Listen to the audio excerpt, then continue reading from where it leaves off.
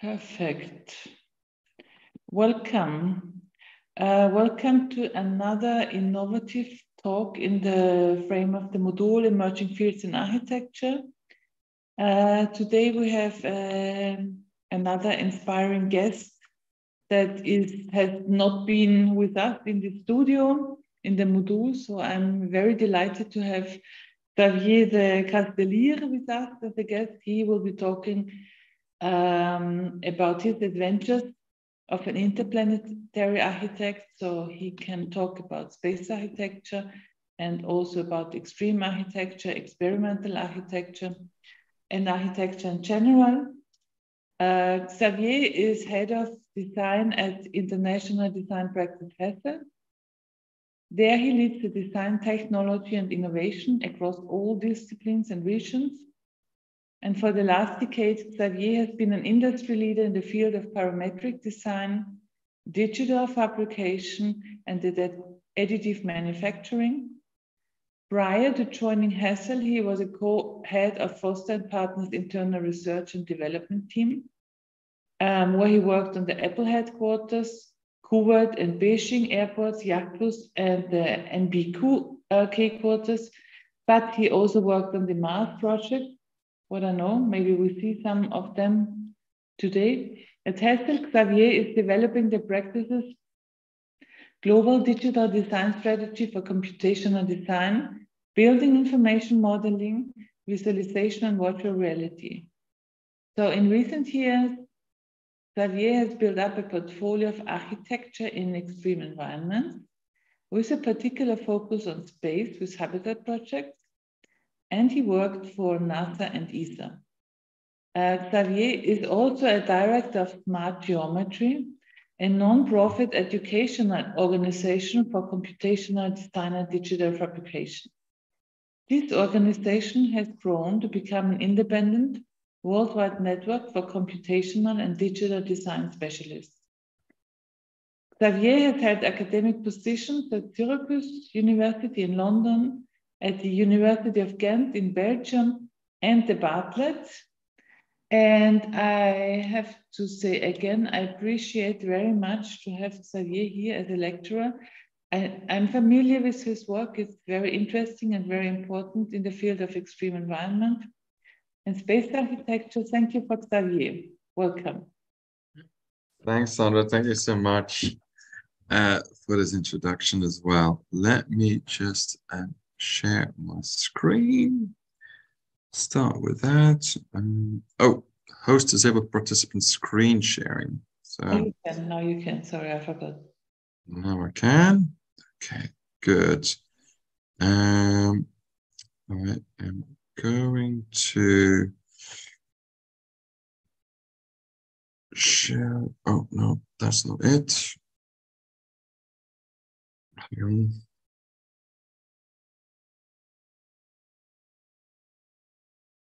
That's better. Um, okay, cool. And everybody see this? Yeah? Can all hear me well as well? All good? Yes. Good, good, good. Thank you. Um, so, um, today's talk, we're going to talk about architecture in extreme environments and spaces, of course, one of those extreme environments. Um, so maybe first a little bit of an introduction to Hassell, company I work at, and where I'm uh, one of the heads of design. So we are quite a large international design firm, originally founded in Australia over, oh gosh, over 80 years ago. So we're not um, exactly a startup. Um, and we have, so we're a global company. We are, of course, still quite a few offices in Australia, in Perth, Brisbane, Sydney, and Melbourne. And then about 30 years ago, we um, expanded into Asia, where we now have an office in Shanghai, Hong Kong, and Singapore. And about 10 years ago, we have an office, start an office here in London, and where I'm based. We've got Global World, I'm kind of um, uh, mainly based in London here. And then we, I think about five years ago, we also opened an office in San Francisco. And what you see here is a little snapshot of projects that we get involved with. Um, lots of different types of scale, um, different locations, and a lot of different typologies. As you see, anything from museums to a visitor center there, offices, sports stadia, big master plans, and even kind of bizarre topologies such as a cruise terminal. Um, and we do this kind of worldwide, right? Um, and we have three disciplines, architecture, interior design, and landscape architecture. Now, um, myself, a little snapshot of what we did, and, and Sandra nicely kind of introduced a few things there already.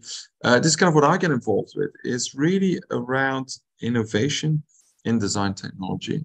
So kind of looking at what are the technologies that we will be using in the next few years or uh, to really kind of help and improve our design process. Now, you can do it by just looking at hardware and, and software, such as um, analysis, environmental analysis tools. But one way I kind of find really inspiring and interesting to work, and we're kind of moving in that direction more and more, is actually looking at projects themselves and doing our own design projects. So uh, for the last few years, we, besides kind of generally looking at design tools, we're also looking at doing our own projects where we feel we can actually test out and um, almost stress test our capabilities. Um, and one of the ones I've been doing because how, how extreme can you get by actually going and designing on a planet? So the one in the middle there, that is of course our uh, projects for uh, Mars habitat done uh, for NASA. Now, today, I am, however, going to talk about two projects in two very extreme environments, but in very different places. The top one is a NASA 3D printed habitat on Mars, and the one below is um, an art and music center in northern Uganda, in a place called Bidi Bidi, in actually a very extreme environment because it's the world's second largest refugee settlement. So two totally different places, but I think our strategy in both places is actually quite similar. So um, I actually quite like about talking about these projects almost side by side. Um, so, but the first project I want to talk about is, of course, our Mars habitat for NASA. Now, this was part of a Centennial Challenge. Centennial Challenge, the NASA Centennial Challenges, was a way to for NASA to kind of open up space research and work in the uh, space industry by opening it up to different industries and not only or different types of companies and not the ones that normally always get the contracts like the big space contractors. Um, this Centennial Challenge was all about 3D printing a habitat on Mars. So that was really the task. It's a very long competition. I actually started when I was at Foster's and I kind of then joined again uh, at a different stage of the competition when I was uh, working for Hassell. Um, now, you might think when you start a project like that, uh, what do you do? Because there's not exactly a lot of built precedents, right? There's precedents, but not really built precedents. So um, so what we did was really look at, so what is out there? What kind of space habitats are there? What can we learn from? Um, there's of course the ISS, International Space Station, that is out there. And um, it's kind of what looks inside. Um, and I don't know about you all, but if you're all architects, I assume, um, if you look at a space like this, um, I think we can do better, right? I think we can create better spaces to live in than what we see here. Because don't, forget, astronauts have to kind of live in these spaces for six months up to a year, maybe. So um, for me, this is not an ideal space. Uh, living in a in a box that looks like the inside, uh, the internal bits of a machine, um, I don't think it's a great space uh, to be way too cluttered. Um, so we think we can do better. Um, people often ask me like, so where do you get your inspiration from? Right? Do you get inspiration from sci-fi? And um, well, not really. I do love sci-fi, Star Trek, Space Odyssey, all kind of interesting things to look at. Um, aliens, right? Um, but let's not forget, as space architects, and I kind of always stress that we should actually not get seduced by movies right? Because always don't forget, movies are made to uh, build a narrative around. They are there as a stage for something else. So for me, um, uh, it's never really a good um, analogy, or I do not personally do not get inspiration from movies. Although this is one of my favorite sci-fi movies, Moon. Um, for me, it's more important to actually look at architects and designers who's been operating in this field before. One of them is Galina Balashova. Um, some I've talked about her. She was um, the only female space architect um, in uh, the Russian space program. Well, she was the only architect, I think, that actually worked in the Russian uh, space program. And when you look at her work, there's some really lovely little books about it now published. Um, I love how completely different it looks, how kind of homey it really looks. And look at the detail, and look at the kind of the veneers that's being used, look at the cushions, the patterns, look at the little curtain that's being used. Um, I think there's something special about it because it really kind of points at the direction that we do not really need. It doesn't need to look over, over technical, right? It doesn't need to be that. It can have a different look. Um, I do love kind of, she's been involved in, lots of projects at uh, the Russian space program. Um, this was one of them I think she was involved with, which was the uh, Russian lander, uh, which was made for one person. Of course, it never, I think it actually was launched, but it never kind of went to the moon.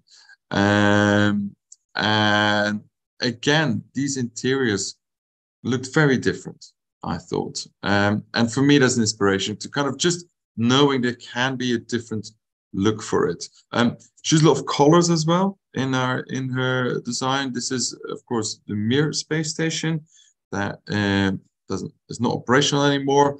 And these are some of her fantastic drawings that she used. Like always, always using colors to kind of identify ground, wall, and ceiling, and so forth. Always in the same type of color scheme. Um, also fantastic drawings, I think. So for me, these are important people to look at Galina. Um, another one to look at, I think, is um, the first designer that got involved in space on NASA's side was um, a guy called Raymond Loewy. Um, and he worked on Skylab. Now, Skylab was one of the first uh, orbital stations for NASA. It was all built on uh, earlier Apollo um, architecture, really. So the modules were actually really, really big. Um, then, so this is Raymond Loewy. He was a, he was not an architect. He was actually industrial designer, a famous American industrial designer, and he got on board when they were designing Skylab. And one of the um, in this image here, you can actually see the two things that uh, Raymond Loewy uh, implemented. Now he did when he arrived at NASA and kind of joined the, the, the, the team there, started working with them, there was a lot of skept skepticism, right? Because these are all rocket scientists, right? So uh, rocket engineers, they were really thinking like, what is this designer going to do? What is he going to do? Like choose the color? And that's one of the things he did. He did choose the color. But there are a few more things which are way more fundamental, I feel, um, that he did. One of the things was design this table. Wow, look at the table. Yeah, it's kind of a cool table, nicely designed, very technical still. And what's so special about it? Well, the special thing about it is that there is actually a table.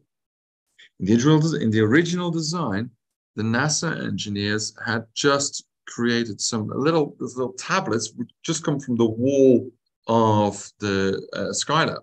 So on the inside, just a little tablet here, one somewhere over else, and one over there. So basically, what would happen is these astronauts, they had a meal, they would just face the wall and uh, have a meal by themselves. And it needed a designer really to kind of bring the human in the center and kind of talk about the fact that maybe three astronauts having a conversation over a meal might be quite important for the mental health of these guys, of, of the functioning of these people.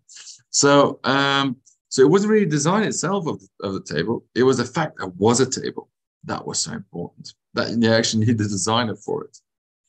Second thing, important thing he implemented, you see in the back of that slide, you see a little round window.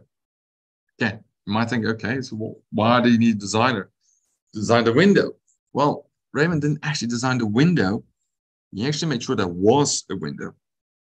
In the original design, there was no window in Skylab because it was seen as a weakness in the structure. It was seen as a risk, as an extra uh, complexity. And from an engineering perspective, you don't want that, right? Um, but in the end, they did put it in and it became a really, really important part of Skylab. Particularly, can you imagine going around the Earth days, weeks, months, and never ever being able to see this, right? So I think, you know, the fact that we needed a designer to kind of put the astronaut kind of central is is is telling. I find, and for me, that's an inspiration. These two people are actually quite inspiration for for for their own different reasons. Um, back to Mars, right? Um, so we got the project. I think we we did what every architect does, and um, look at the environment. Right? So what is the environment of Mars? What what are we really dealing with? Because you know every house, every building is really a way to kind of deal with its local environment, whatever that is, climatic, urban, so forth. So for Mars, what do we have? Well, first of all, um, you might all know this picture, Apollo taken from the Apollo 8 uh, craft uh, mission, um, taken by an astronaut that was coming around the moon and actually saw the Earth rising. Really, So the Earthrise picture. One of the probably most important picture ever taken uh, in human history. Now, um, what is quite surprising always is that proportionally, um, the moon is actually quite far away if you look at it. So if the Earth, moon, this is a proportional uh, distance. People always think it's a bit closer. Um, that took about three days to cover that distance, and I think roughly around 300,000 uh, kilometers. Now, that distance is a thousand times the distance of the ISS is from Earth. ISS is roughly around 400 kilometers, I think. So it's about a thousand times the distance. Right now, if you go to Mars, you have to have another thousand times that, that difference. Now, on average, because of course Mars and Earth rotate around the Sun, so their distance is kind of different quite a bit. Um, but this is a picture taken from, I think it's a Curiosity rover taking a picture uh, from Mars, looking back to Earth. And you see it's basically one pixel on my screen at the moment.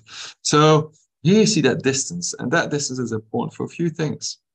First of all, um, cost. It will be not very, it will be very costly to actually get anything to Mars. So before we go, we need to kind of make sure we, we pack cleverly, right? We're going to pack compact and light. Every kilogram that you need to get to Mars, is hugely expensive. Second thing is, is that because of such a distance, there is no direct communication. Like if I want to um, uh, send a message to a rover on Mars, it will take up to 20 minutes. So you can't teleoperate stuff from Earth to Mars. So that that that difference, the distance, uh, means there's never direct communication. Another thing that was great about Earth is that we have an atmosphere and magnetic poles. Having these magnetic poles and the atmosphere really gives us protection shield against radiation. Radiation from cosmos and from the sun. And that would be, you know, if we didn't have that, it would be really radioactive it would be really, really bad for humans, of course. Um, the problem that we have on Mars Mars does not have these magnetic poles, uh, which means the radiation, the solar radiation and the um, cosmic radiation is really hitting that surface uh, the whole time. So one of the major things is we need to protect ourselves from radiation, right? So that will be a very important part in our design, an important design drive. Again, a picture taken uh, again from the Curiosity rover from the Martian surface. So what else do we get there? Well, we have, uh, it's pretty cold, average minus 70, minus 50 Celsius. It goes above Celsius a little bit, but not too much. Um, you have an atmosphere that is a hundred times thinner compared to um, um, Earth, and it mainly consists of uh, CO2. CO2 atmosphere. So we do have something there, um, but it's a very thin atmosphere. We also have storms, storms that can go, uh, planetary storms that will go over the whole planet and that can last up to months.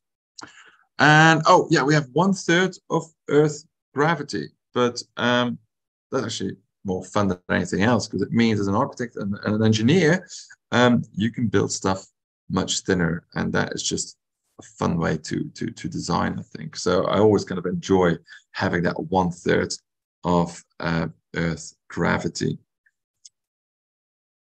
Oh, okay. Um, then, so already said we, we better kind of pack light and um, uh, and and make sure everything is compact.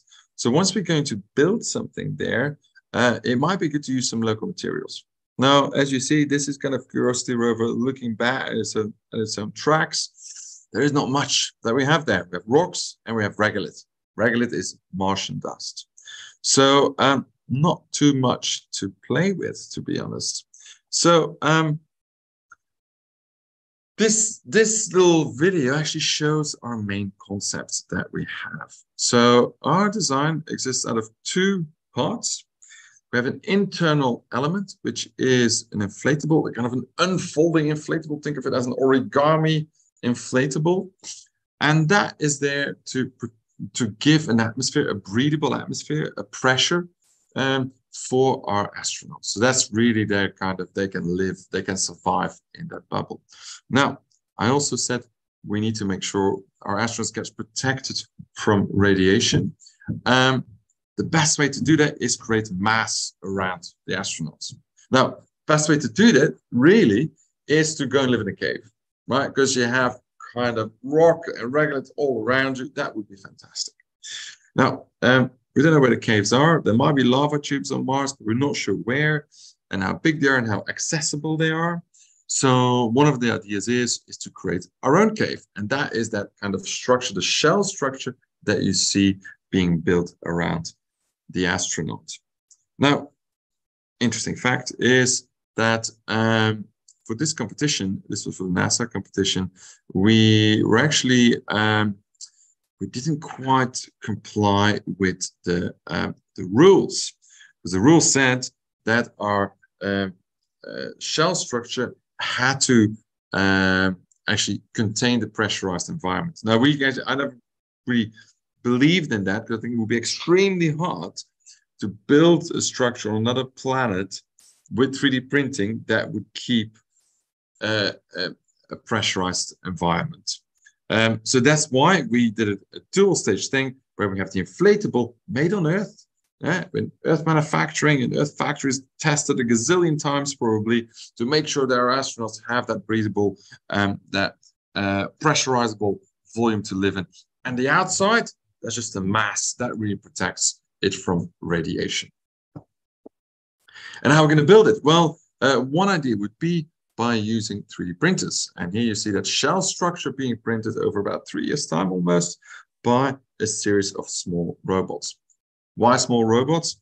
Well, um, if I want to print something with a massive printer, um, then I need to bring a massive printer, of course. So um, this is not a normal printing process with a big, big gantry system. No, we're going to have smaller robots actually working together a little bit like ants. So it's a swarm robotics system.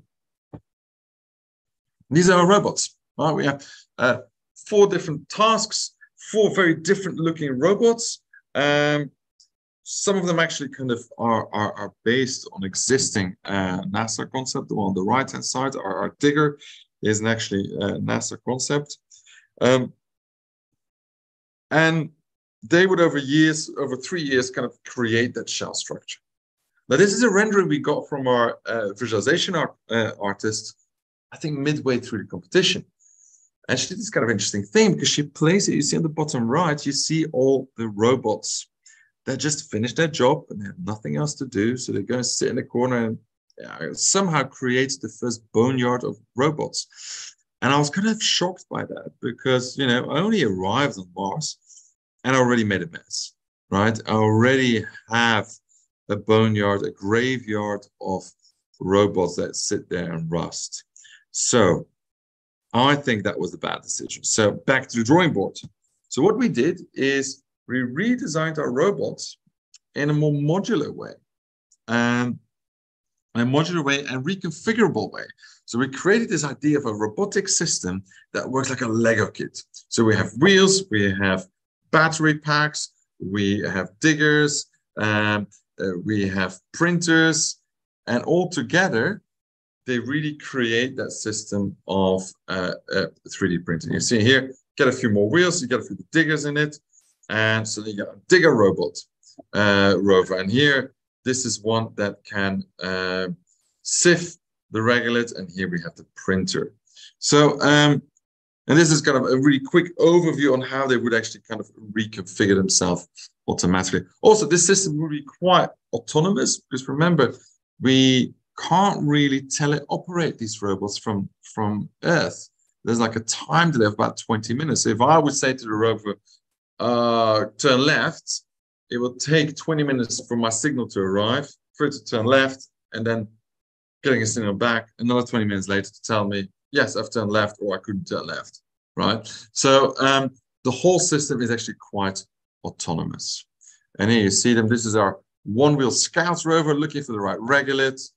Then we have the digger. Again, like I mentioned before, this is based on the, on the NASA concept um, because we have less gravity on the on on Mars.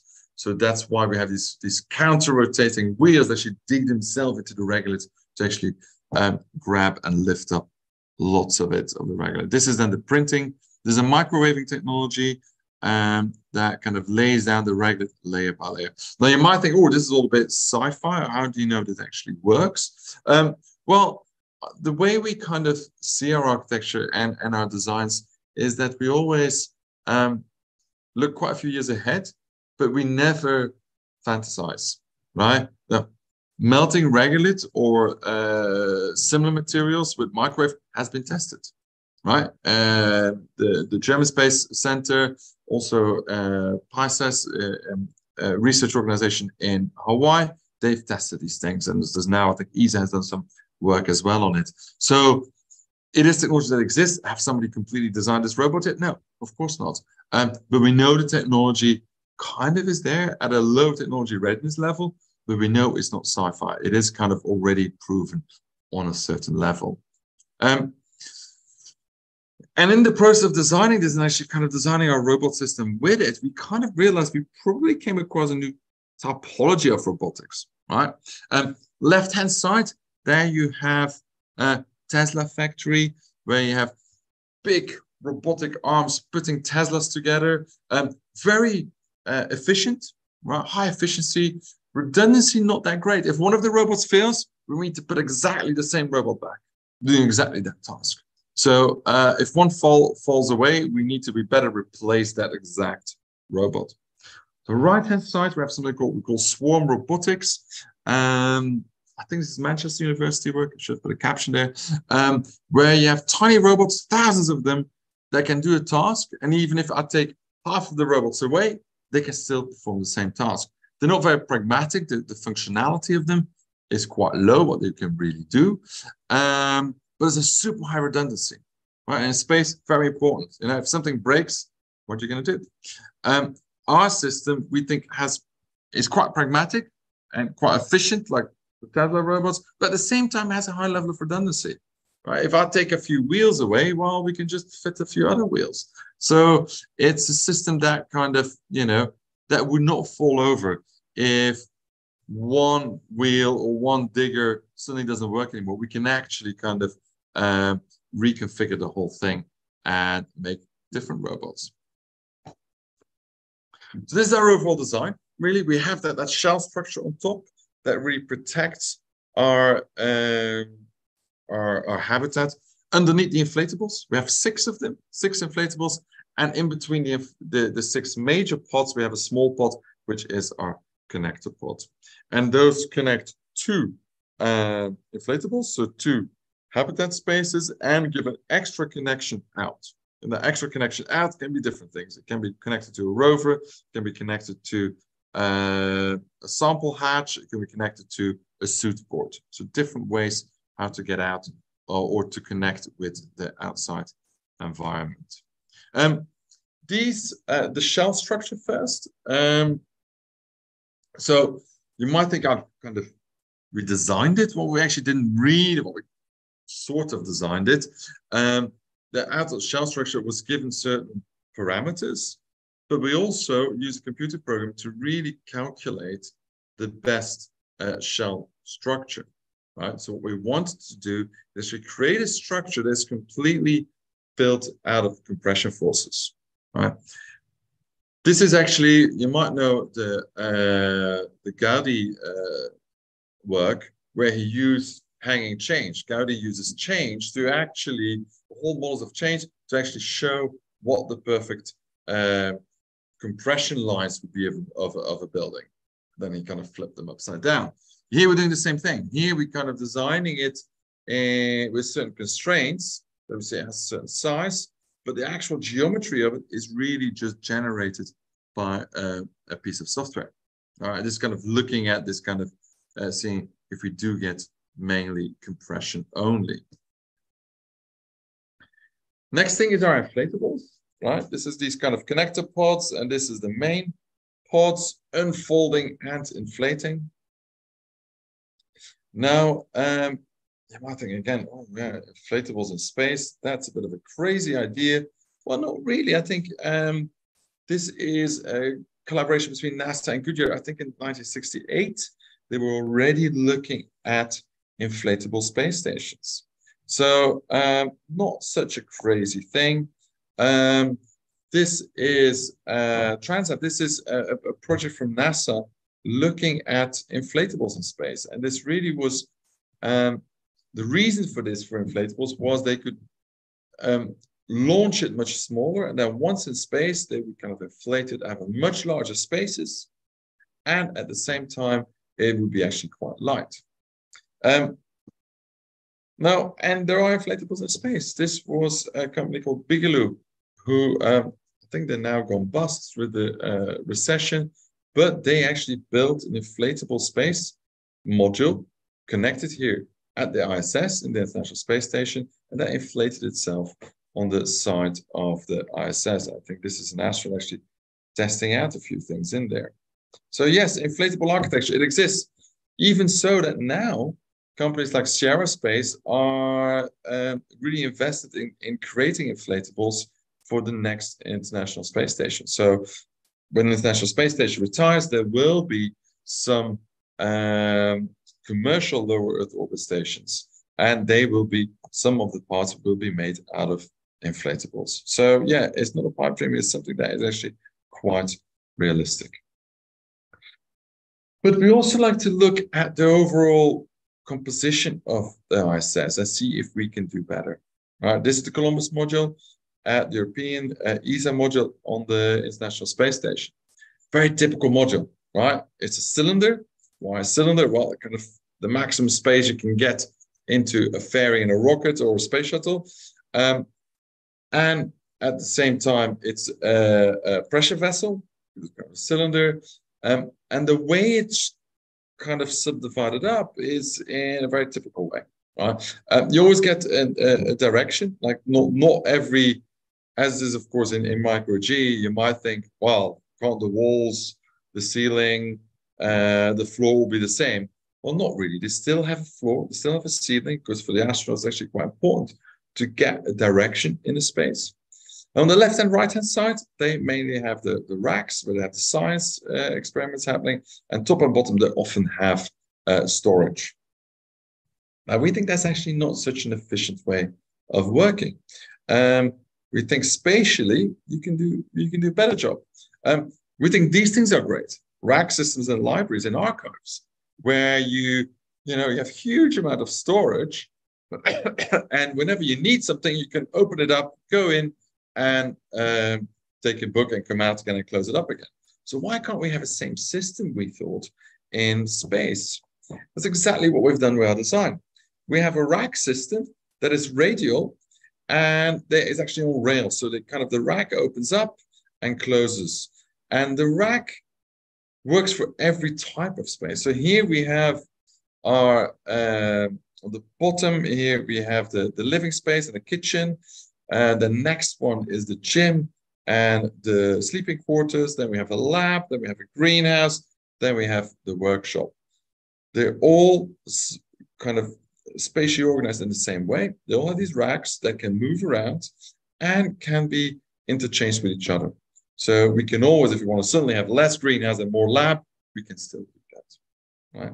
Um, and you can see that here. Here's our astronaut going to one of the racks, setting up an experiment probably. And if you once you've done that, you can actually walk out and close it off and kind of go into another one. So we think that's a good way to actually look at space saving in, in space. Uh, and it's a system that we, you know, we, we ESA has been looking at that for a while as well. Um, I think our innovation was here to kind of like see if we can do it in a radial uh, manner. And uh, same thing again, the rack system on rails on in the greenhouse. Again, we can actually kind of have a really compact way and uh, space saving process. And this is our uh, gym in the habitat.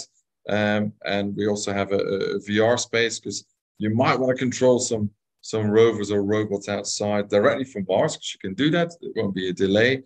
Uh, and what better way to do that from a, a, a VR environment?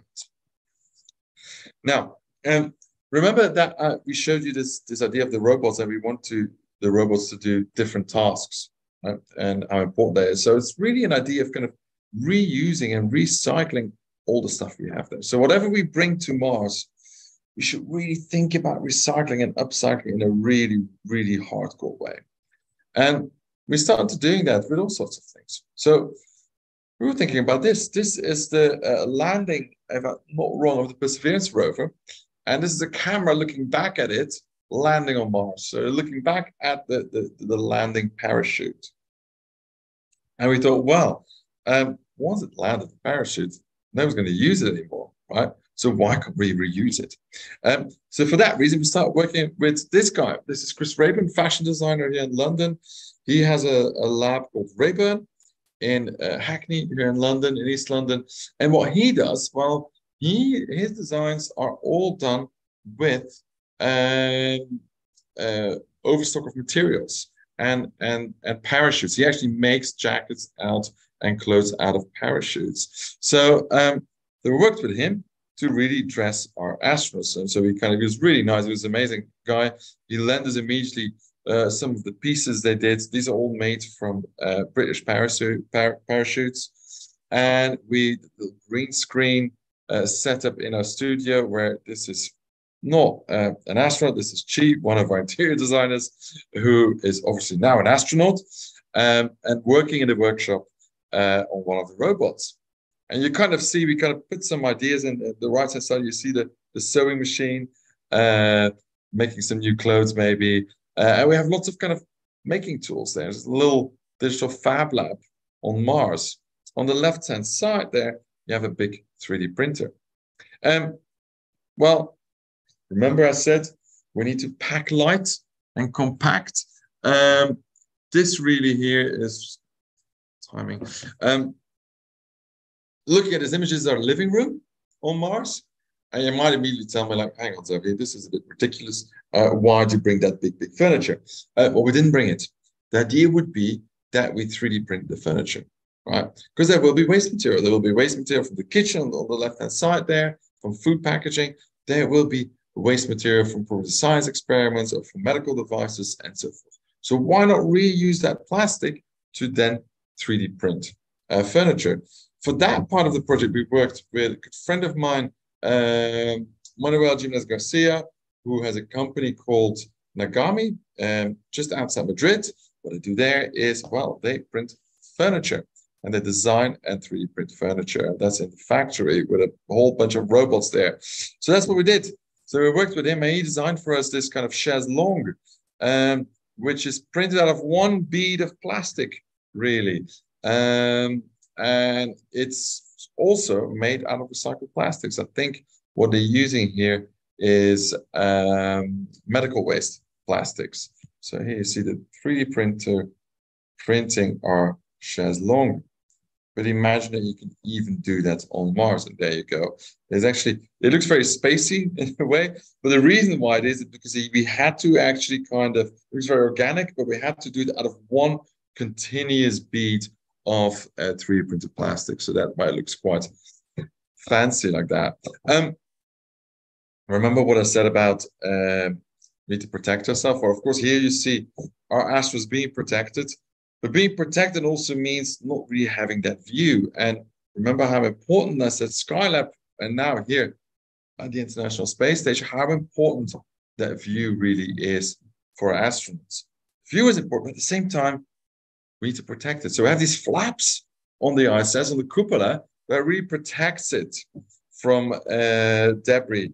And uh, so, what are we going to do with our um, um, uh, habitat? How are we going to protect our windows? Well, you can do it like this, like a very mechanical way of doing it, or you could use a very architectural way. And a very architectural way to protect somebody from radiation or from the sun. Huh, this one. It's not a technical solution at all. It's an architectural solution. It's a courtyard. A courtyard is a Mediterranean courtyard Tunisian, I think, um, that um, protects the inhabitants from direct sunlight. Great thing is, no direct sunlight, but at the same time, they do get indirect sunlight. And the fantastic thing about a courtyard is you get great views across your habitat. So um, we did the same thing. Just see this, this render already. Um, there's no direct sunlight hitting our habitat, but at the same time, we have this connection between the different pods and a, a longer view, which we think is important.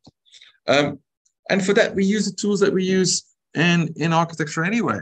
Uh, we use some solar analysis tools where we can check. Yes, we had to kind of trick the software a little bit to kind of make sure it was it was operating on Mars. Um, but here we kind of show how there is no direct sunlight in our pods.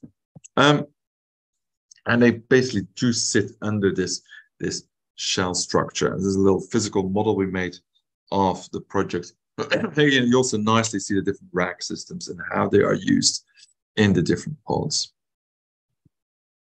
Now, besides doing the, the, the architecture, for us, what's really important is to also do the mission architecture. So it's not just important to, to, to know what you're going to build, but how it gets there.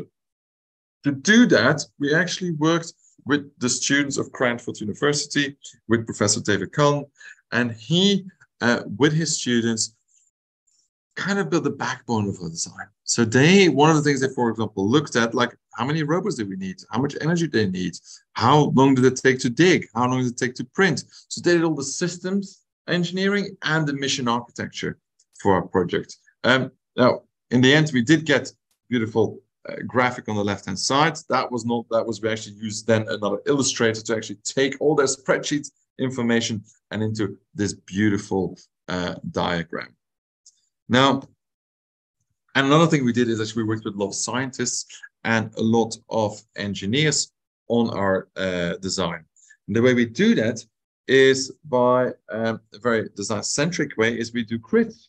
We invite everyone, we give everybody a big pen and some post-it notes and everybody can come around and talk about our design and discuss it and tell us what wouldn't be working, right? So it's a very open design process that, that we follow, and we always quite uh, we, we, we keep on doing that to kind of open it up to lots of expertises. In that room, we had space anthropologists, psychologists, mining experts, robotic experts, uh, Martian meteorologists, um, you name it, uh, radiation expert, you name it. We had people in the room to actually kind of discuss and critique our design because we think that is so, so important. At the end, we were very, very lucky once we finished the project that um, at the same time, there was a, at the Design Museum in London, there was an exhibition called um, Moving to Mars. So it's all about design and Mars. So it wasn't only about the science. Um, and we had the opportunity, we were very lucky that the Design Museum sponsored us and we're able to kind of build one of our habitats in a one-to-one. Again, here, all the furniture is 3D printed we have an inflatable and we have that view out. It's not a real view. It's a big, big screen, uh, but it was all real time. So this was all built in uh, an uh, Unreal Engine. So you can actually see the day changing as well in the habitat. Um, and the racks, we built the racks. The racks were movable. You can move them left to side. Um, and this is one of those views in our, this was like an, a six meter diameter habitat. And what I'll do next is I'm gonna, so I'm gonna stop sharing and then reshare because I want to do is show a little video. So I'm gonna optimize for video and I'm going to, doesn't that work? Uh, okay, I hope this works. Okay. There we go. Half a century ago, we took our first step on the surface of the moon. Today, there is renewed passion to explore for our Everybody next human this? Yeah. endeavor. Mars, the red planet, further than any human has ever been. We face many challenges remoteness, no livable atmosphere, high radiation, dust storms, and extremely low temperatures.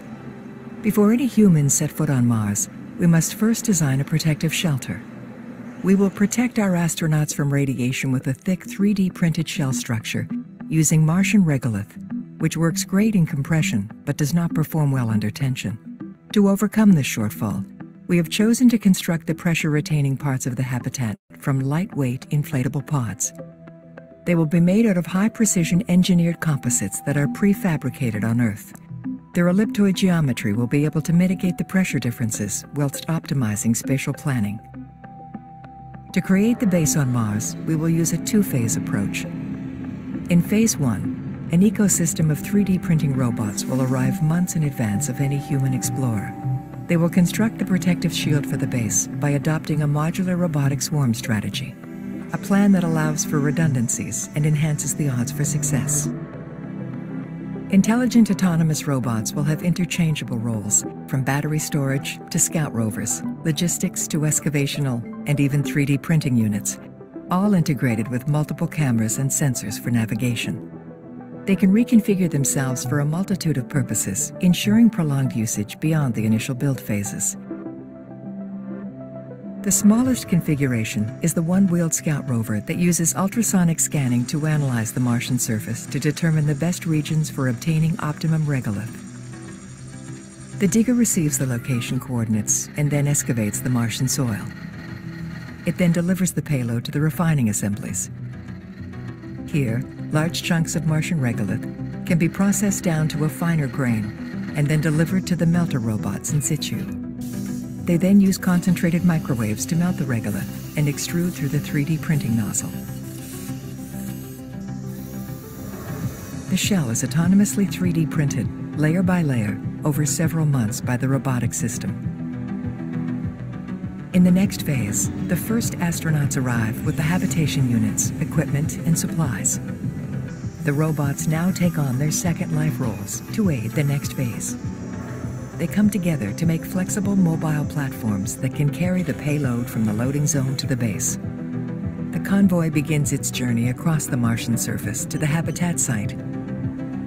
The build commences with a connector module placed underneath the protective shield and ready for inflation. The module then unfolds and self-inflates into its final form. The habitation units are then placed into position and sequentially inflated to form the completed pressurized environments. The circular layout of the habitat ensures continuous accessibility of the habitat in the event of a catastrophic failure. Each connector module houses three integrated environmental control life support systems, delivering essential services like power, water, data, and oxygen to all the habitation units. A circular conduit delivers these services to multiple endpoints in each pod. The base will be remotely powered by two nuclear kilopower reactors and a solar farm, located a safe distance away from the base. In the next stage, the astronauts will construct and install a flat pack, rail-based racking system capable of connecting to the distribution system, enabling spaces to reconfigure according to their spatial needs. This modular and radical design principle has been adopted for all the habitat pods, ensuring multi-use, reconfigurable environments. A Martian base should not just be a habitat. It is home for the astronauts. Each pod expresses its own identity, quality, and character. A highly functional design which places the human experience at the core. Spaces include a state-of-the-art research laboratory, hydroponic greenhouse,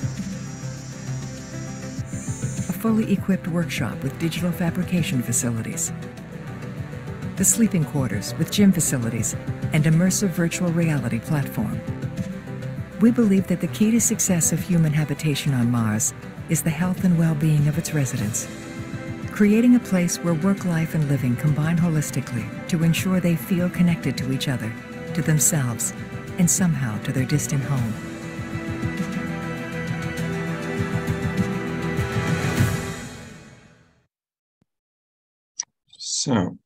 Was video one. Um, hang on, let me now just go here, share this. Um, no. Okay. Um,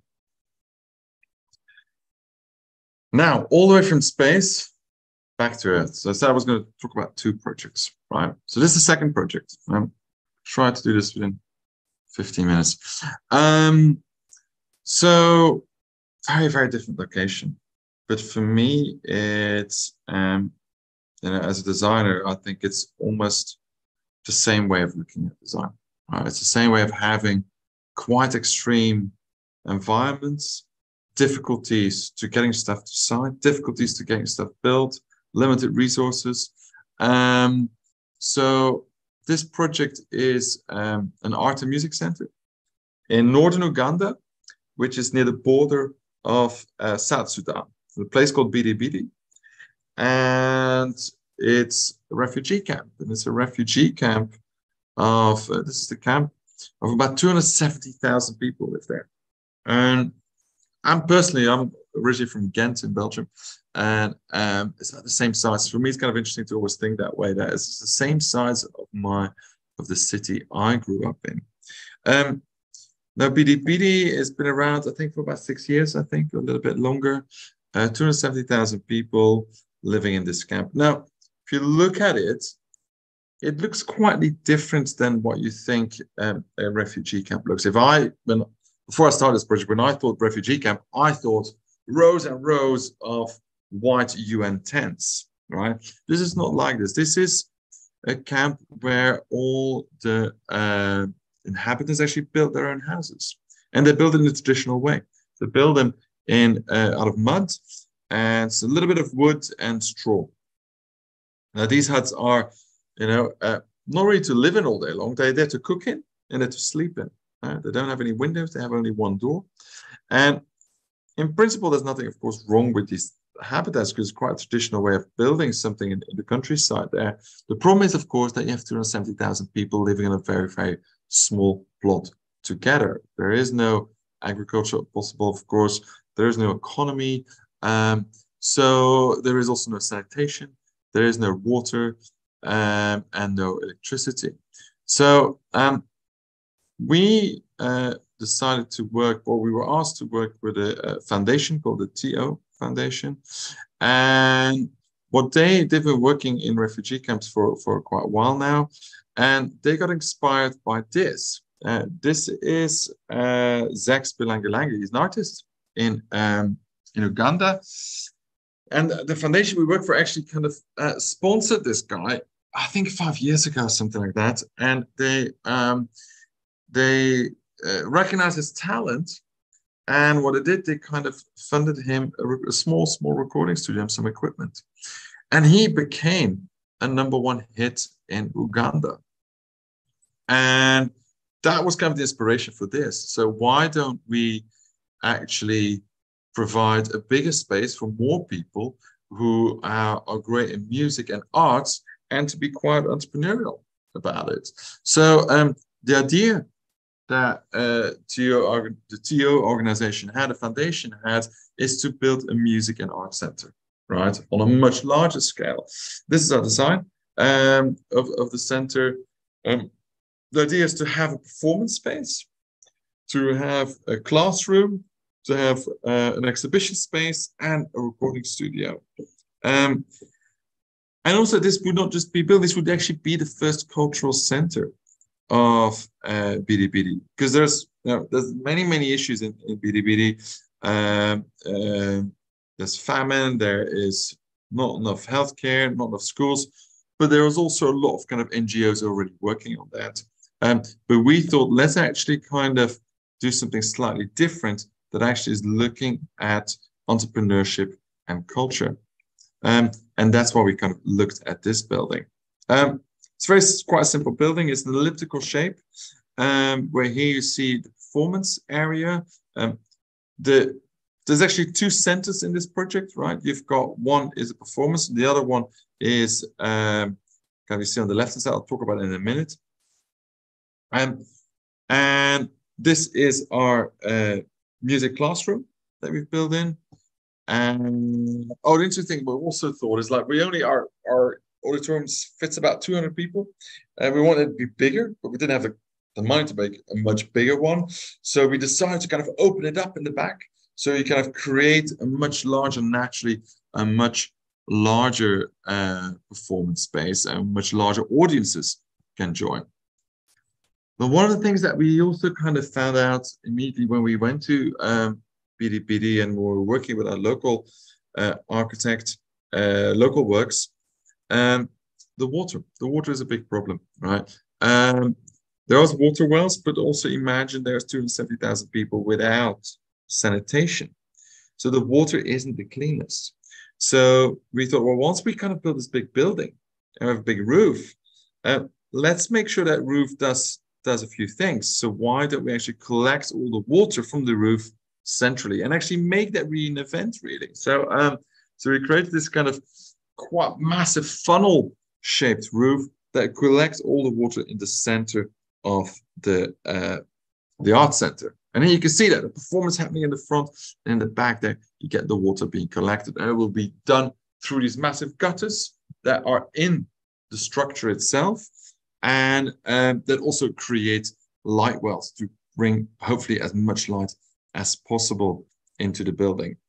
Um, now, uh, geometry for that became quite complex, as you can see. Well, first we have an elliptical building, and second we have this offset uh, geometry here. Um, so you might think this is going to get really, really expensive. Well, um, interestingly enough, um, I've spent quite a few years of my life uh, doing just that, is looking at complex geometry and make it buildable. Um, I worked many years at Foster and Partners, some of the projects I, I was involved with, looking at how to optimize and rationalize buildings. And that's kind of what we've done right here as well in Bidi where, um, oh, sorry, there's a project, for example, we did in Smithsonian, the Foster and Partners project. Um, it looks very curved everywhere. Uh, it looks probably all made out of curved glass, but not really, because if you look on the top, you see this is the Smithsonian Institute in Washington. That is all built out of flat pieces of glass. So that was kind of my trick. Like, how can I make sure, again, here in Bidi that everything is out of built out of very simple materials, flat pieces of sheet metal, right? No glass, but sheet metal. Now, I know that um, a cone geometry, I can build a cone out of, I can um, build that out of flat pieces of, of, of uh, corrugated uh, metal, flat pieces of metal, um, because that's what uh, geometry allows you to do. A truncated cone, it's kind of the same thing. Now, if I skew that cone, actually all these panels stay planar. So that's actually quite, quite important that we don't get very complex pieces of metal. They're all planar pieces. I can then just flip it around and have the cone put, and then um, uh, so it's kind of put it upside down, so I can still have flat pieces. And then instead of an ellipse, I actually build the ellipse out of three parts of arcs. And by doing that trick, I know all the panels in this roof, rather complex shaped roof, will actually be quite simple and they will be flat, flat pieces. So um, that was our trick. How do we kind of create a building that is actually might look very special and, and, and complex and interesting, but at the end of the day, is actually built out of simple geometries. Same thing for the elliptical shape. You might think, well, an ellipse, that's a kind of a, a, nightmare to set out on sides. Well, not really. If you think about an ellipse, the geometry of an ellipse is I could actually draw an ellipse by having two um, sticks in the floor and a wire and, and, and just a rope. If I have the rope in between them, uh, a rope that's a bit longer, I can actually kind of then draw a massive ellipse, right? So that's the kind of definition of an ellipse is that the, the distance from the two centers, the, the, the total distance of those two to the point of the ellipse is always the same, right? So it's constant. So um, that's a kind of a trick where we kind of say, well, it's a complex shape, but actually setting out on site would be fairly easy. Other important thing is that we had to work with a local architect. I think is I can't stress enough how important that was. We did not design this first here in London and then through gave it to the local architect. No, we kind of started with them from the beginning. Um, so this is Localworks, a company based in Uganda, headed by a guy called uh, Felix Holland. We've been working with uh, now for, for quite a bit. We learned a lot from him, right? Learned a lot about the local uh, techniques of for example, using SSBs, which are solidified soil bricks. Why these bricks? These are just compressed bricks. They are non-fired because there's not enough wood in the area, right? So we want to make sure that we can make it out of local uh, earth and compressed, uh, purely compressed, and those were actually strong enough to actually build our building out. These are these kind of uh, presses that actually kind of uh, make your building blocks a very sustainable way. We actually use the, the material that is right around the camp. So again, a bit like Mars, we use very, very local material. We then also do a lot with these blocks, right? We want to make sure that they, they kind of perform really well. So one thing they do is they bring in natural daylight. And what by just making openings in the walls? But by positioning them in a particular way, they actually work also as a diffuser in the um, music classroom. So they have acoustical uh, performances. And in the recording studio, you even work as a Helmholtz resonator. So they kind of absorb the sound and also diffuse the sound at the same time. So we kind of go actually quite technical with them and let them do a lot of work, are very simple bricks. And this is like the center uh, rendering over there. You see kind of it opened up from the back. So we kind of make sure we have as much uh, audience as we can in the center. Uh, we went out to Uganda in September. This is us kind of, again, testing out lots of technology, as I mentioned at the beginning. This is with a HoloLens uh, with Maui, who's one of the people from Locator, who are, um, this thing also about this project is that we're working directly with the refugees. Uh, Maui and Victor on, on, the picture, they are refugees and uh, they're actually living in the camp. Um, and they will be the ones that will be the owners and the, and the, the people that will operate the center. So we're not we're going directly with the refugees, which is a fantastic way uh, of working. There's actually Maui's family that lives there in the, I'll show you the first pictures uh, where the, the, the, houses are built. So it was a, a, really sobering way for us to kind of go there after, after having designed it, kind of seeing where it will be and, and what families and people it will benefit. And you know, we did lots of kind of presentations as well to all the local stakeholders um, uh, in the camp and and the local people. So it was a fantastic way to kind of really connect with them. And then this is then in Kampala, where we are now. We were checking the the, the first mock-ups. Um, that was in September. We are now uh, on site, um, and I think we'll be now three weeks on site um, and we're getting, um, we're not out of the ground yet. We're still doing foundations, of course. That will take a while.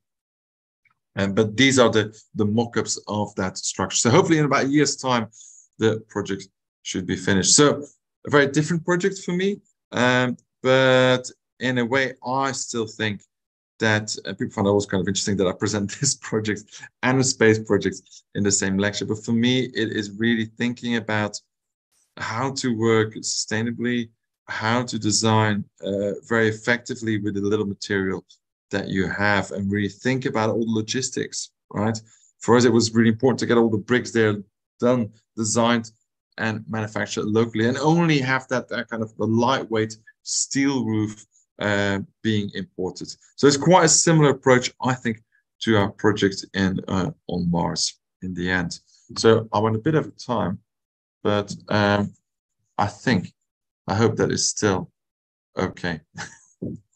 Sandra. So yeah, I think I've seen that about a gazillion questions. Um, uh, thank you, thank you, Xavier. brilliant information, interesting project. Congratulations. Thank you. Um, uh, do you want to go to the questions, or what do you want to what do you want to do? Or I'd like the students to ask you themselves. Okay, good. So Leon, please, you're the first one.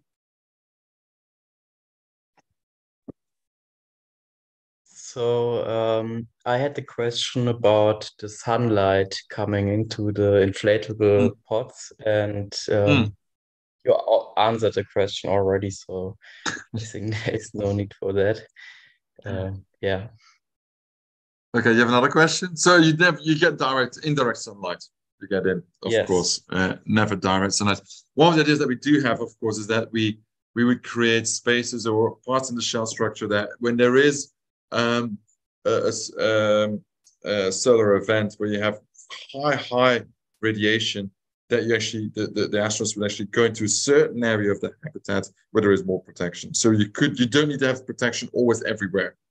You know, uh, you could actually kind of have certain areas where you have more protection and other areas where you have a bit less. Also, kind of, it's also depending like where you spend most time. If you spend a lot of time in areas, you should actually protect that the most.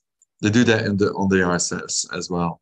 They're kind of in certain areas where they sleep where they have a bit more protection than others. Like a panic room. Basically, yes. Yeah. Cool. But Thank you. It's a super interesting question and a very important one indeed, right? Uh, yeah. Because light is important for us humans. So it is essential for an architect. I mean, I think Xavier, it would be important on Earth too, right? But uh, oh yeah, absolutely. Space is super relevant. That architects yes. know how to deal with artificial lighting and natural lighting. Mm. Absolutely. And at least, well, the good thing, at least on Mars, you do have, you know, it's a 24 and a half Earth hours day right? So a day lasts about half an hour longer on Mars. Uh, so you do get day and night. And if you would be on the moon, it would be slightly different. Where you, if you would be, for example, on the Shackleton crater on the South Pole, it would be day all the time. You, you'll have the horizon kind of the sun on the horizon all the time, just in a different location, right? Over 28 days. Um, so yeah, you don't need to kind of. Um, but it's interesting to kind of make sure you have that day and night uh, uh, rhythm as well for the astronauts. Any other questions?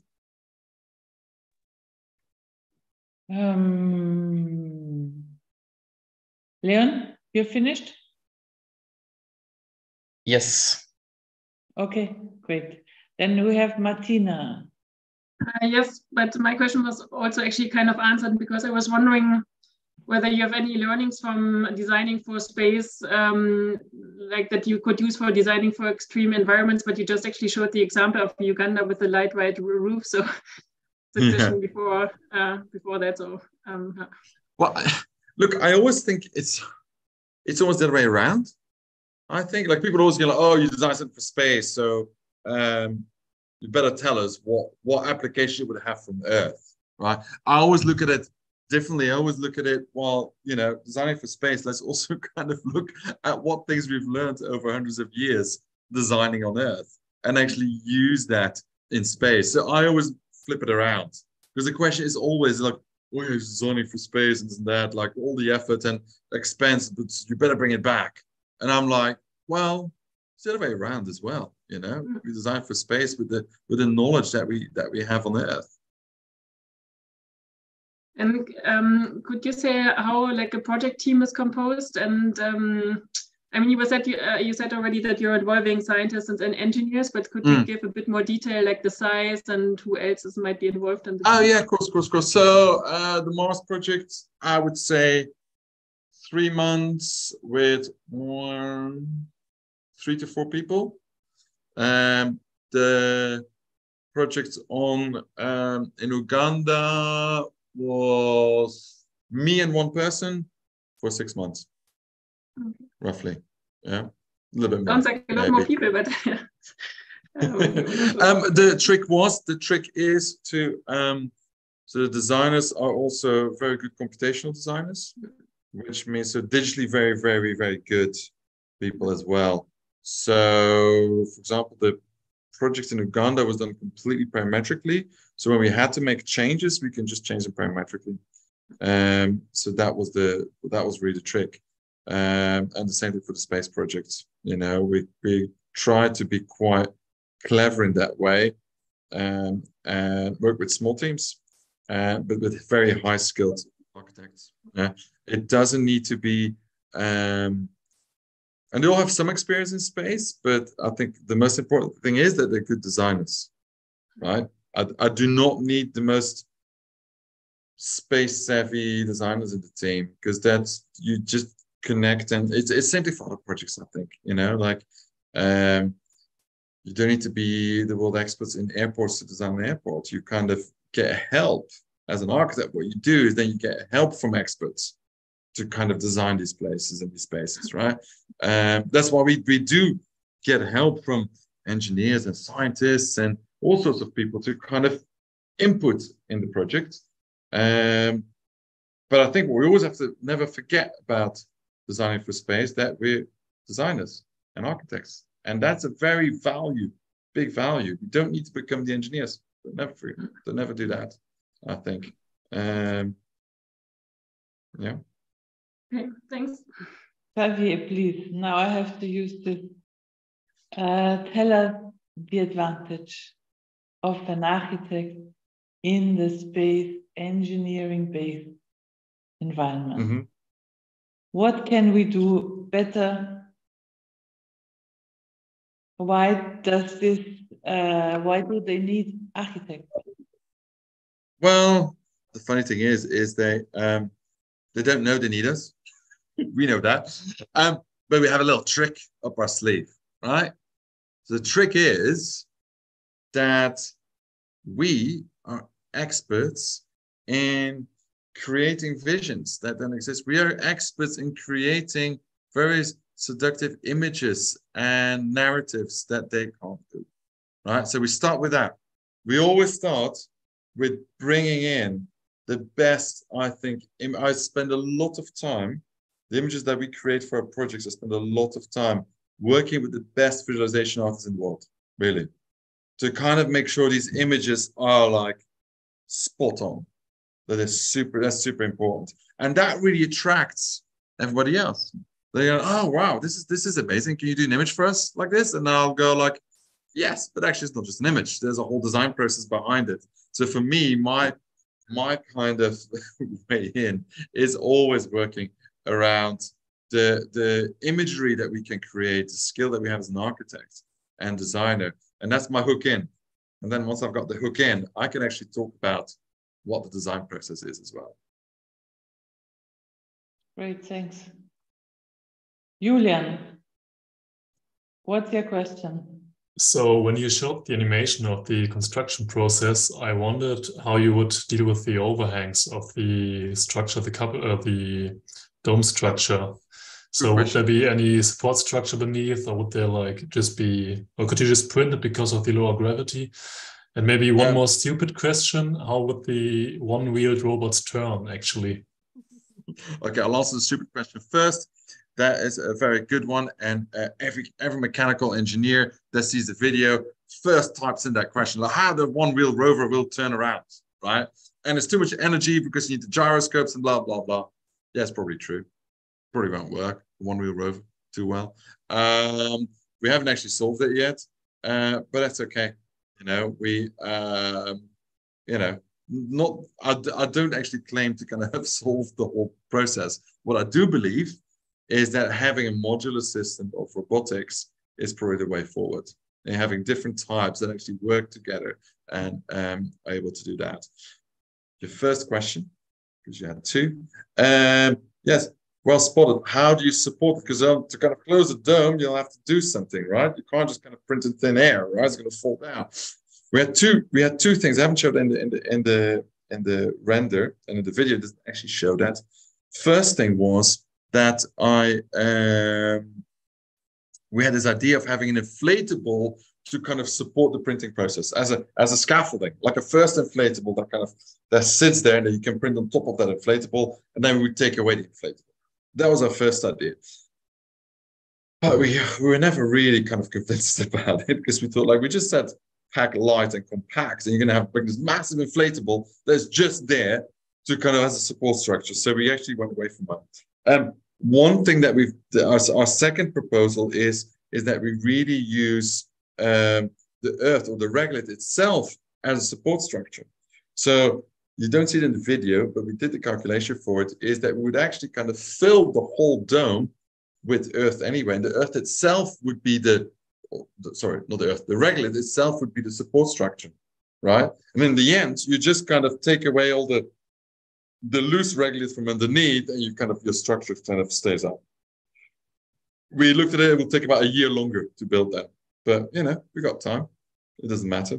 So again, it's a simple, it's a super simple thing. We just use the regolith that we have locally just to create a mountain for to to do the uh, the support. It's a system that's been used on Earth as well. If you look at SANAA, uh, has done a museum like that. The shell structure in Japan is one of the I forgot what it was called now.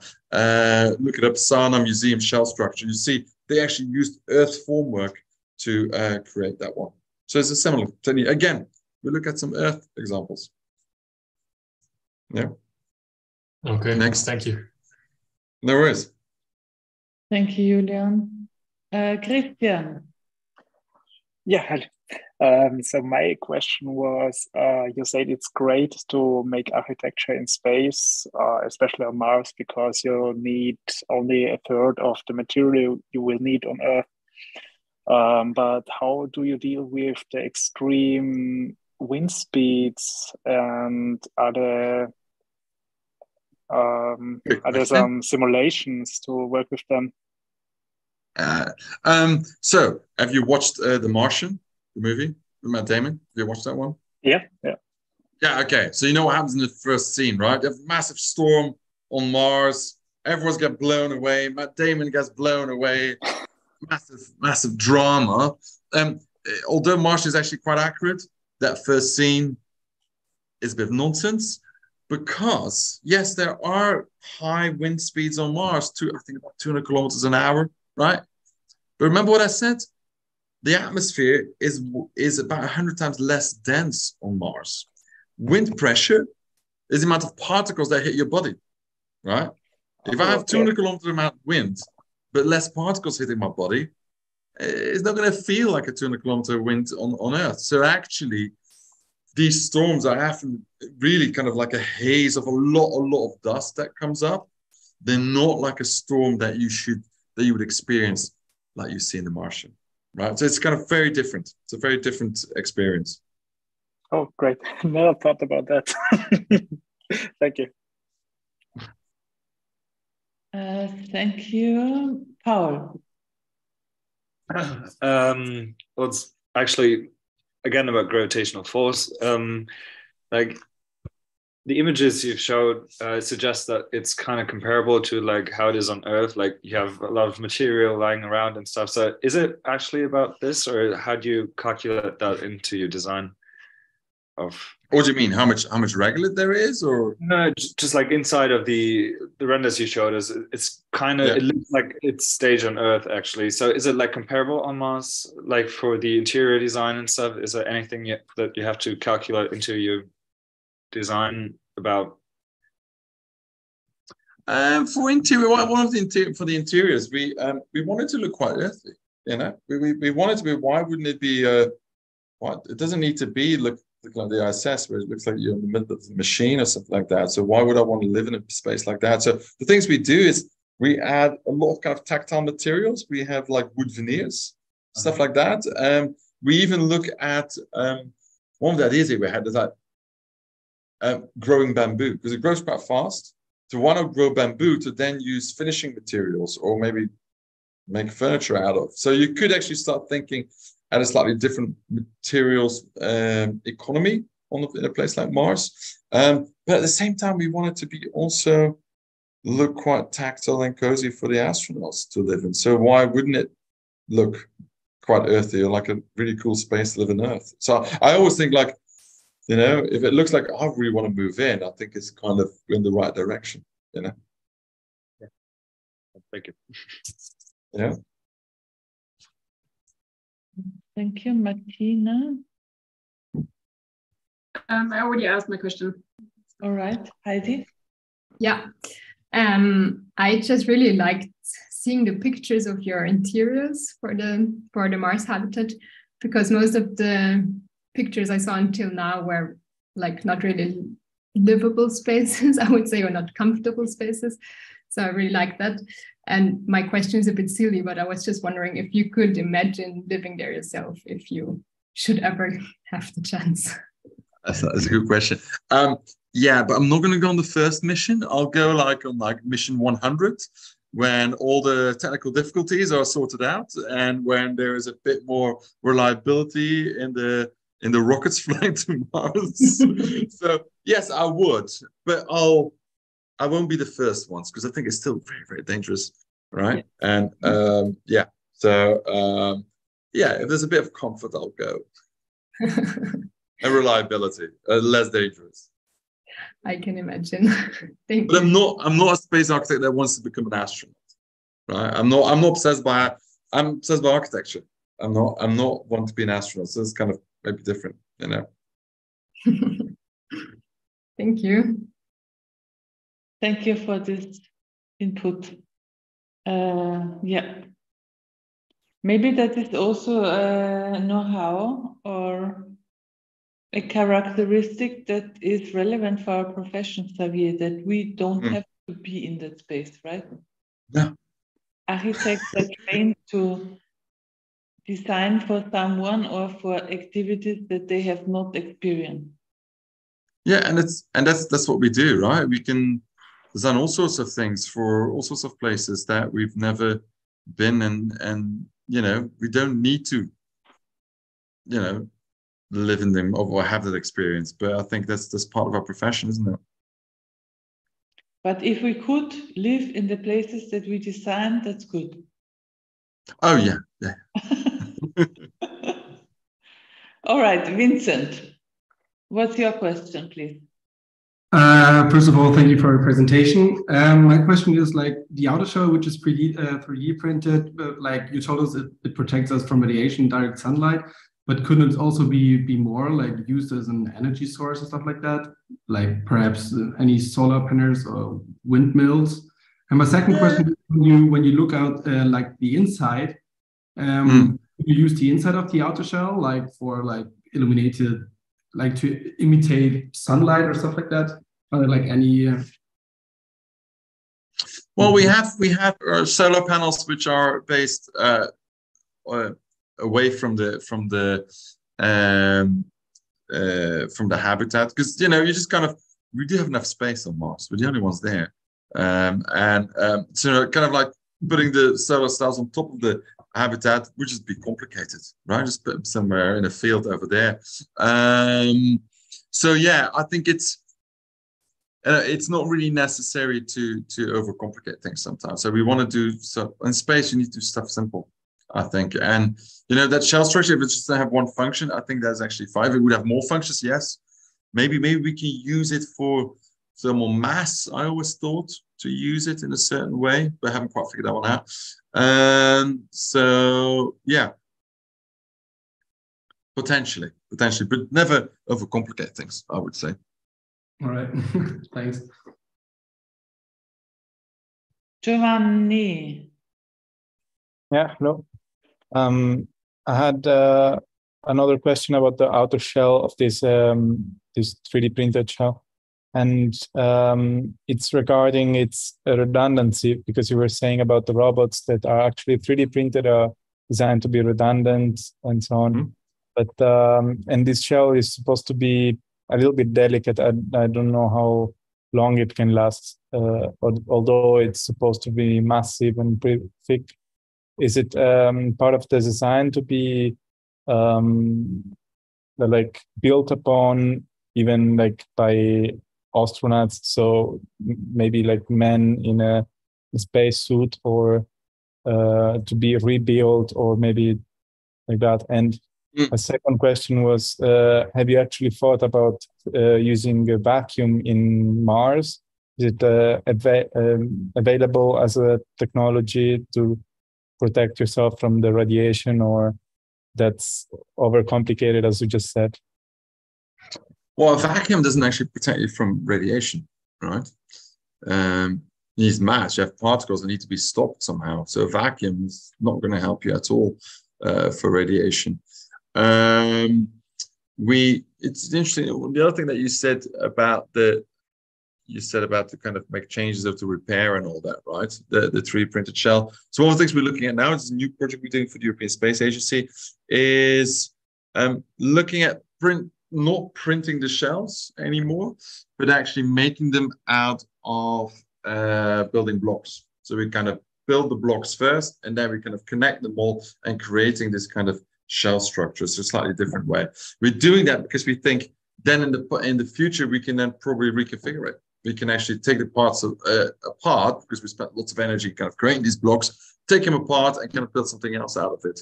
So um, because if you print it, you print it and that's it, right? You can't adjust it anymore, right? You can't change it. Um, so for that reason, uh, we're working. We have now a slightly different approach to it, which we we're investing at the moment. A project for a lunar uh, habitat, which we're gonna you'll probably see in a, uh, a few months' time. I hope we're gonna come out to press with that.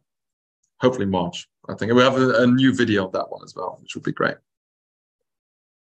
very interesting uh, approach. Would be interested cool. to see how it comes. Thank you. Uh, Sasha. Yeah, um, so I was wondering how long would it take to transport all the different components to Mars um, until the habitat is finished and the people can really live there? Um, I think I need to go back to my to the to all the analysis that the Cranfield students did, but I think the whole mission was like twelve years. So um, it took quite a while. You know, this is also not the first mission to Mars. And you have to understand that this is not the first missions. They will just be in uh, habitats that are being built on Earth, and they probably won't stay that long, uh, probably maybe a month or so, and then come back.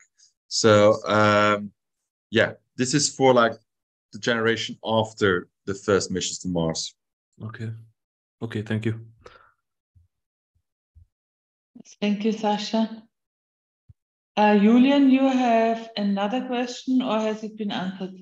Uh, I don't think it has been answered yet. So I wondered why you, or did you consider origami structures for your habitat instead of the just elliptical one? Because I think there are like a few designs around which use origami structures mm. or tessellations to make it more sturdy or maybe even implement some functions into the walls. Or was it just clear from the beginning that you would use the balloon-like structure. We, mm, so we have like the, the, the reason why we have that is that we want to have a structure that is inflatable because that's the most compactable and and lightest. But on the other hand, we wanted our inflatables to sit on the regolith, right? On the on, on the rough surface. And then we also needed to connect to other pods. So the parts that are connecting to other pods, the part that sits on the surface are all what we call hard shell elements. They're like like non-inflatable elements. And those are the bits that kind of fold up, right? And then the other bit, the top part is actually inflatable. So there's a reason why we have um, two systems there. For our next design that we're doing on, with ESA on, on the moon, we actually went the other way around. We do more inflatable, um, but we lift the whole module up from the, from the ground. And we, we have quite a novel way of actually being able to kind of make that structurally work as well. So uh, yeah, what we try to do, each project that we do, we kind of make changes to it and, and kind of keep on adapting. And uh, some of the concepts are still the same that I've always used. It's having having inflatables under uh, shell structures that protect yourself. We've always played with that, but we kind of how you do it, we actually change that quite a bit and kind of refine the design in each new project. Okay, I'm looking forward to that one. Thank you. Thank you. Mike. Yeah, thanks for the amazing lecture. I was wondering about the project in Uganda. Maybe I missed it in the beginning. Mm -hmm. Who's fun, who's funding the project and why did you start working on this project? Because like it's a like a special project to find um, this mm-hmm. topic mm -hmm. and to have it somewhere where it's mm-hmm. like super poor and It's Mhm. like yeah. Um, the project came to us through the uh, foundation, the Swiss foundation called TO. Um, and I actually I met the founder of that foundation uh, because he visited our, visited our Mars uh, habitat project in the design museum. And we started talking, and uh, and he showed me what they were doing. I showed him what, what we were doing, other work, and um, yeah, and that's where it came from. So there was a foundation already, uh, and they're already working in Africa quite a bit. And is it like only meant for Uganda, or are are they also working in other countries? And they're working in Senegal, they're working in Uganda, they're working in South Africa, I think, as well. But that project is particularly for, for Uganda, right? So they're working in a few places in Africa. Okay, nice. Thank you. Thank you, Maike. Michael.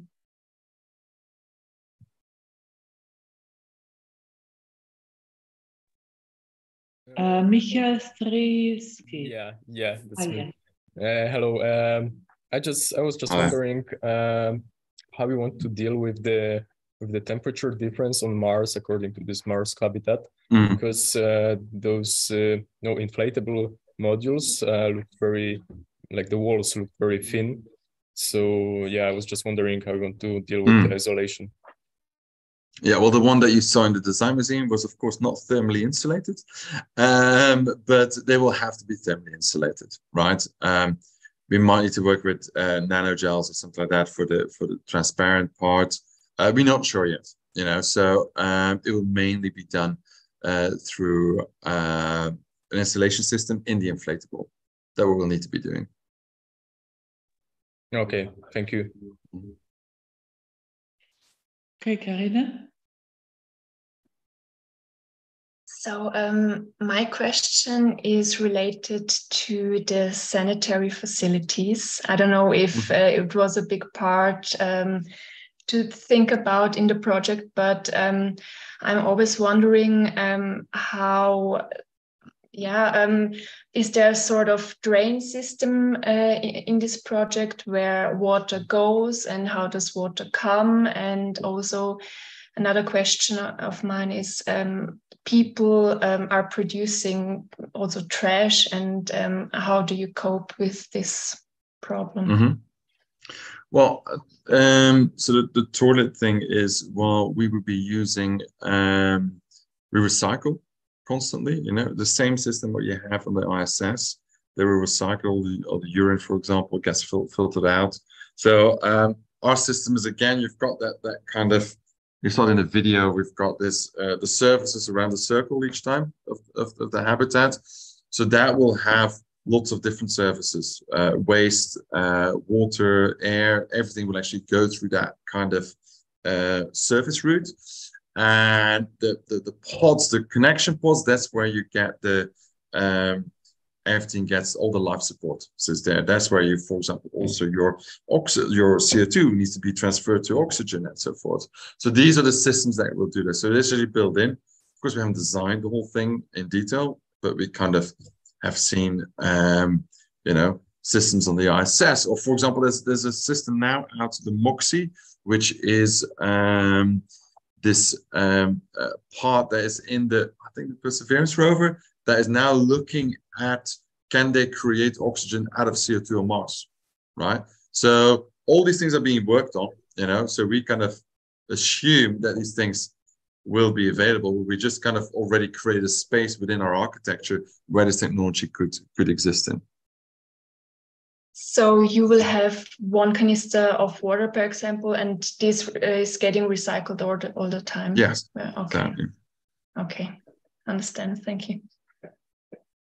Thank you, Karina. Um, thank you, Xavier. Uh, it was a great talk. And thank, Thank you, you. all for your lecture, uh, for your question. Is there one last question that we can? Yeah, I need to get going as well. I need to pick up the kids from school. So Then, Xavier, thank you for your input, for your patience, and for answering Fantastic. the questions. And see you soon. Have a see you soon, day. everyone. Bye. Thank you so much. Bye bye. Thank you. Bye.